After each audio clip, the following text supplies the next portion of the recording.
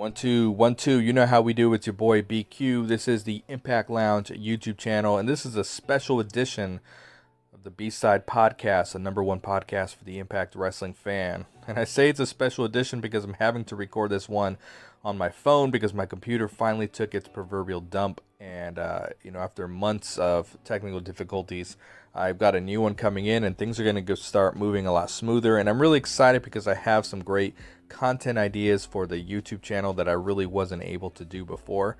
So I'm really excited about that. So we should see a lot of growth and everything like that going forward. If it's your first time here, consider becoming a valued subscriber.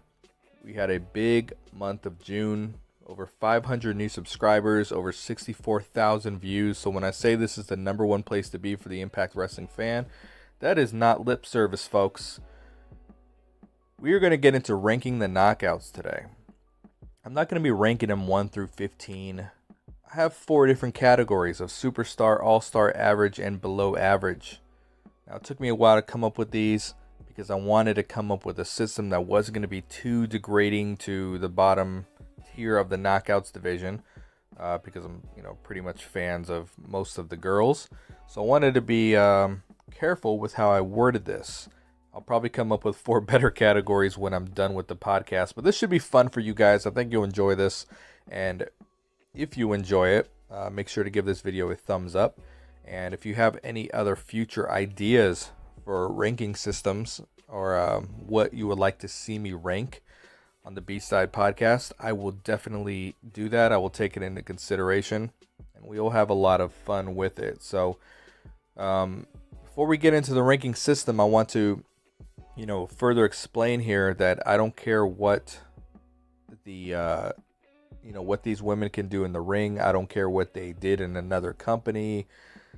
You know, I am basing this ranking system off how they are currently being presented in Impact Wrestling and how their career has gone in Impact. So I don't care what they might do in the future. I mean, that will take, uh, I should rephrase that. I do care about the future a little bit but I'm trying not to look into it too much. And in their past, I, you know, depending on what they did in Impact, I'm cool with that. But I don't care if they were in another company and they won this and this title, or they did this and this around the world, or their, you know, their work rate is this and this. I don't care. We're just going to be talking about Impact Wrestling and how they were being presented. So we're going to get into ranking the knockouts real quick, though. Let's pay some bills. Hey guys, if you're looking for a way to make some extra cash, especially during these hard times, the most enjoyable and easiest way to do it is by doing food delivery. Now, there's two companies that I advocate, but the one that I'm talking about this week is DoorDash, taken from someone who's been there and done that because I love having multiple streams of income. Depending on tips and peak hours, you can expect to make about 16 to $20 an hour, sometimes even a little bit more. So if this sounds like it's right up your alley, click the link in the description to get started. All right, folks, let's do this. Uh, I've got the knockouts here in no particular order. And again, this is on my phone, so we're doing things uh, a little bit differently. So I'm sorry if it's a little hard to follow. Uh, when I do this from my computer later, it'll be a lot easier to follow. So these knockouts are in no particular order. Just kind of threw them in here. And we're going to see how balanced this knockouts division is. We talk about it, a lot of us fans, that it's the best knockouts division. Let, let's see. Let's start with Alisha Edwards. Whoops. I've said on uh, many occasions, many occasions that she's actually my favorite knockout. Uh, she's the one I really want them to see. I really want to see them do something with. Now, if we're talking about her presentation in Impact Wrestling, um, she didn't win a single match on television last year, and I don't think she's won a match uh, since beating Rebel at uh, I think it was a Twitch show. So um, my biggest concern and biggest crit- criticism of the presentation of Alisha Edwards is that Impact has been clueless when it comes to presenting her in a way that she's not just Eddie Edwards' wife. They've only ever been able to put her in storylines and book her as Eddie Edwards' wife. She has to branch out on her own if they're going to do anything with her. So for that reason, she's pretty much, you know, been an enhancement talent in Impact. So she's going to fall in the below average category. Tennille Dashwood. Whew. I did this upload about Tennille Dashwood when she was signed that I thought she was the uh, just this major signing. I was excited about it. I thought it was a new, you know the face of the knockouts division. I mean, I couldn't I couldn't say anything better about it. And um, two months later, maybe even a month later, I was begging for them to turn her heel. I said, pull the plug. Uh, everything was really uneventful. The matches weren't good, and she was given an immediate title match at Bound for Glory that no one really wanted to see, but they felt she was a marquee name and they had to put her in that match. And ever since then, she has provided just about nothing to the Knockouts division. Uh, I think she's only had a couple matches since Bound for Glory. They did this video package for her, and I thought they were going to, you know, kind of repackage her a little bit. I said it should have been based off her uh, Instagram character because, you know, as an Instagram model, I mean, she's her page blows up, you know, and then she kind of is presented in wrestling almost as like a goofier character, not that sexy, uh, you know, individual we see on Instagram. So, um, so she's been a real huge disappointment but uh, you know she was she added a lot of momentum to the knockouts division when she was signed you know because she was uh, a big name. So um, you know in NXT she was awesome but here she just hasn't been. So I don't care about what she did there. I just know in Impact she's been very very average Rosemary? Oh we're getting into Rosemary early okay? What can what can we say about Rosemary? What can't we say about her? Rosemary's awesome. We all love Rosemary.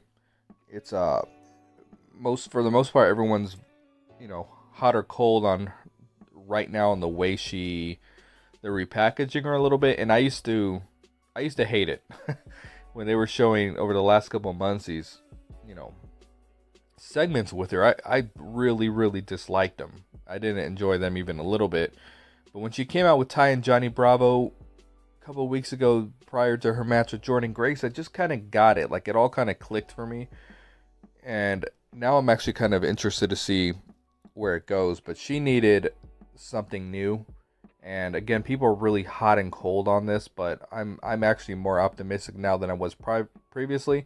But this is Rosemary we're talking about. She's only had one knockouts title reign, which is insane. But she's one of the most over stars in the company, if not the most over star. So she's definitely a superstar for the knockouts division. And it really doesn't matter what they do with her or what they don't do with her. She's always going to be right there at the top. Nevaeh. Nevaeh's looked pretty good so far in Impact. Um, I don't think she's lost any matches, or maybe she lost her last one. I don't. Yeah, she did lose her lose her last one. I'm sorry by a roll up. Um, I like the way that you know, despite her being a relative unknown, unless you really know women's wrestling, you know they they brought her on, kind of presented her like a big deal. They teased the debut for a little bit. Was she to attack Havok? Was she to join Havok? Thank God they have her join Havok and not try to reinvent the wheel. She's looked good so far. And um, I don't know how much television experience she has, but I thought she's, I've been thinking she's been looking really, really comfortable. Um, but I'm not ready to put her in a, you know, overvalue her quite yet. Um, I'm to throw her in the average category, but there's a lot of potential for her to to really move up this list. Taya Valkyrie. Taya Valkyrie. You guys remember when Taya Valkyrie debuted in Impact? Um, she had a few matches. The matches weren't good. The the uh, gimmick was a little confusing. It was you know the entrance was kind of dark, the music was dark, and then she had the bright colors. And it was it was a uh, we didn't really know what to expect of it, and we didn't know how how long she'd be around. You know, fast forward to now, she's in tremendous shape. She's one of the most enjoyable knockouts to watch in ring and with the segments. She is so comfortable in who she is right now. She is a major player. She's the longest reigning knockouts champion. And I didn't even think she was going to stick around after dropping the title because when you wrestle for a smaller company, sometimes, you know, when you reach the top of the mountain, and, and have for that long, at that point, what could you do? So I really expected her to be gone, and she is, you know, she continues to kind of reinvent herself, and she doesn't even need the title to be effective right now. I was concerned that she needed the title. She clearly doesn't, and she is clearly a superstar for Impact Wrestling. Kimber Lee.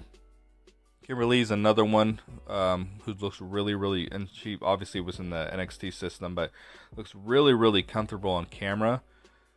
And I really like her entrance and her music. And she started off hot the way they debuted her on Madison Rayne's segment, and then she got a couple wins against Jessicka Havok. So she started off hot. She's uh, kind of cooled off since and she's not, you know, much like Nevaeh, she's still not signed to the Knockouts division, but she's a part of Slammiversary, so you know, I'm optimistic that it'll happen, especially with her husband in Impact. But she's looked really good, really comfortable. I've been really impressed, and um, I'm gonna throw her in the average category because she, you know, she started off hotter when she uh, joined the company. You know, at first, um, sorry about that, guys at first, you know, I she she started off looking like she was gonna big be a big deal in the division. Division, it's cooled off, and it's probably because she's not, you know, signed. So had she not started off with that momentum, I probably would have thrown her in the below average just based on the last couple weeks. But uh, she she has a potential to be a big player too. She's looking really good. Deonna Purrazzo, I had uh, gone on record in saying I was pretty sure she was going to go to AEW because I felt she was a, the perfect bridge from what they have right now to what they want to be. You know, I really thought she was the one for them. And her Britt Baker's her best friend, so I just I really was not optimistic she was going to come to Impact, and she is, and she's uh, looked like a really big deal so far. And um, this was this was a major signing for them. She is immediately in a Knockouts title picture, which is not something I'm really big on with debuting, but Impact seems to do that. They can't help but to do that. And, you know, because she was. This is a really hard one for me between Superstar and All Star, just because, you know, just because she comes from the NXT system and everything. Um, I, I don't want to just, you know, overvalue her, but they needed a signing like this. They needed someone to choose Impact. I've been saying that for a little while, and she's right there in the main event picture, and she's gonna be, and I think she's gonna be the Knockouts champion. I really do. Um, her YouTube numbers are just off the charts, and uh, she, she's a big signing. So um, I was really close to All Star, but I'm actually throwing her in Superstar because I think she's one of the next faces of the Knockouts division. So I said I didn't want to look too much in the future with this, but in, in her case, I, I have to a little bit because um, I just think she's going to be a major player.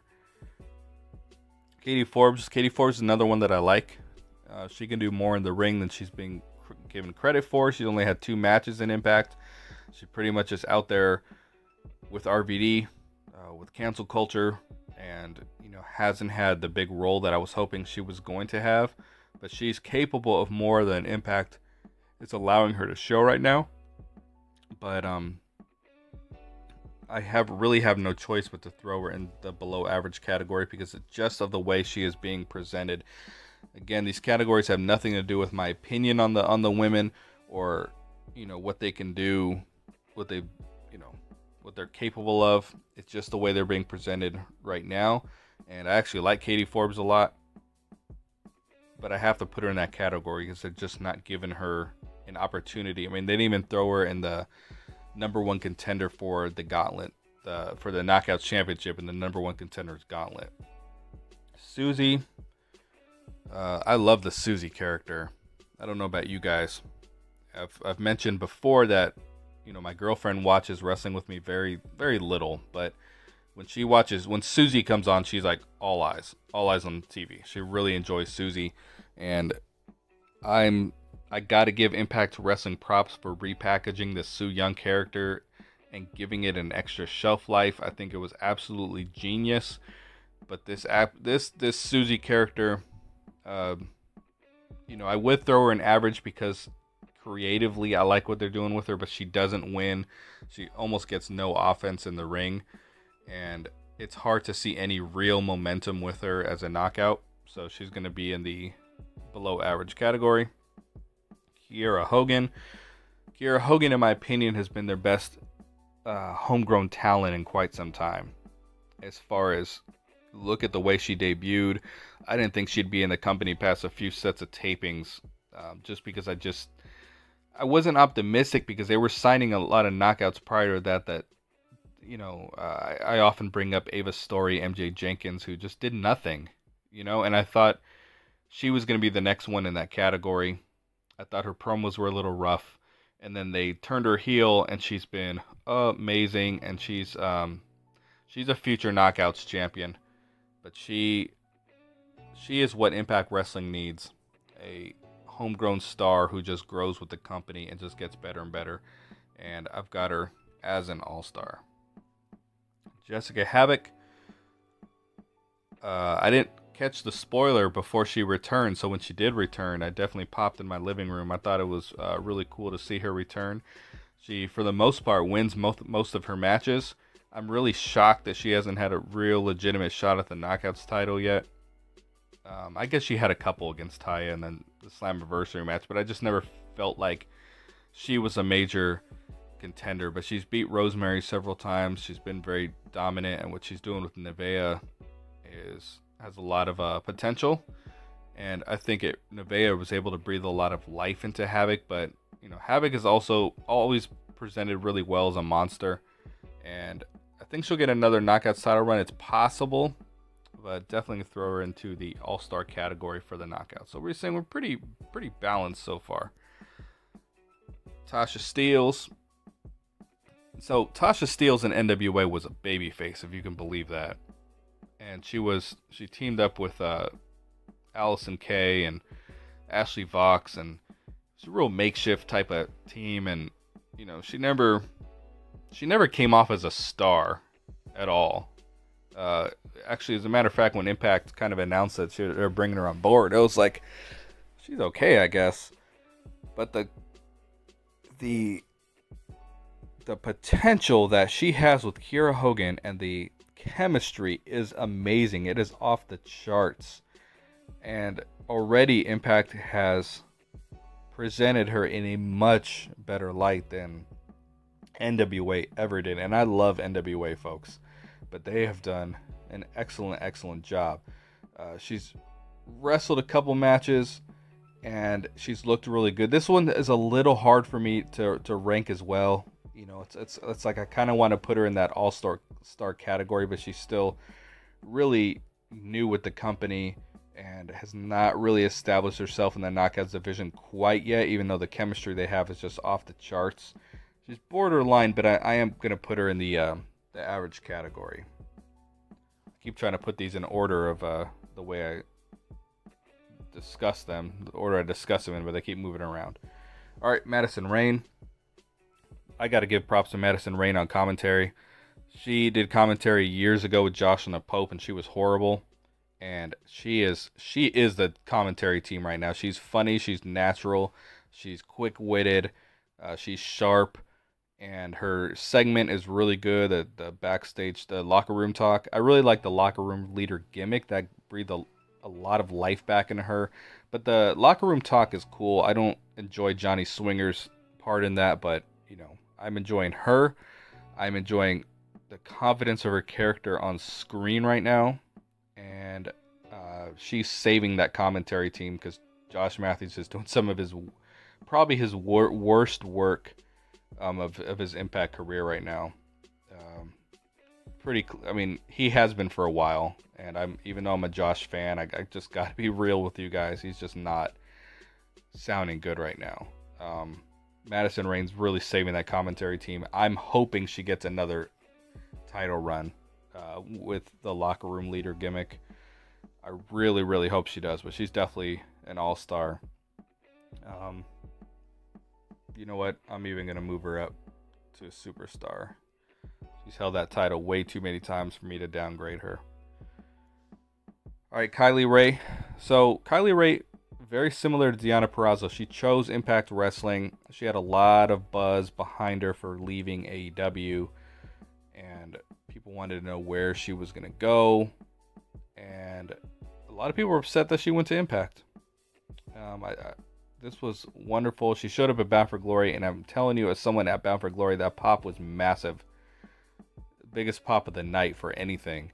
And she looked really good in there. She's amazing in the ring. Like, she's, you know, as big of a fan as I am of Allie, and their characters are similar, she is just much better than Allie in the ring. And much better than most of these knockouts, in all honesty. Um, I'm throwing her in the All Star category. I'm not putting her, even though she's on the same playing field, kind of as Deonna Purrazzo, as far as just momentum and buzz coming into the company and them choosing the company. Deonna Purrazzo's a, she's, I really feel she's going to be the Knockouts champion at Slammiversary. I don't see Kylie Rae in the Knockouts uh, championship picture anytime soon. She doesn't really need to be, but she was an All Star signing. Let's take Su Yung. So obviously she appear, appears on this list twice as Susie and Su Yung. I thought she should have had a longer knockouts title reign than she did, and You know, as I said, I give props to Impact for for getting a lot of shelf life out of her character. Uh, she's just she's amazing, and I enjoy everything that she does. Again, I thought she should have been knockout champion longer. I thought she should have had a really nice long reign and I, she doesn't show much these days, but uh, when she does, it's it's a big deal, and she's a big player in the division. For me, she is an all star. Really, really balanced. It would be perfectly balanced if Jordynne Grace was going to go in the below average category, but she's not. She is the knockouts champion, and I don't think she's been the most entertaining champion.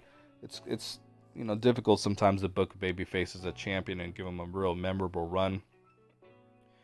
They, you know, they had something going where Madison Rayne was trying to feed her, you know, uh, competition, and that didn't last very long. And I think that would have been good for Madison, and not for Madison, but for Jordynne.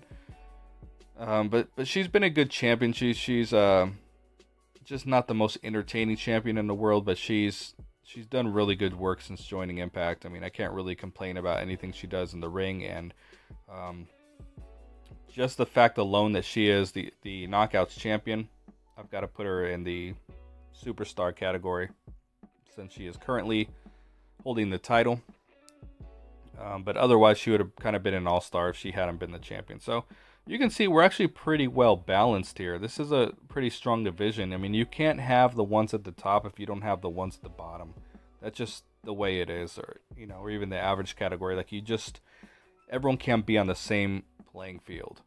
Otherwise, no one, no one gets over. Nobody gets momentum. So, I hope you guys enjoy this. This was something a little bit different, and I'm going to do more of these in the B side podcast in the future. I just need ideas from you guys and we will do it. When we will make it happen. So, again, uh, thanks for being here. I'll talk to you soon. Peace.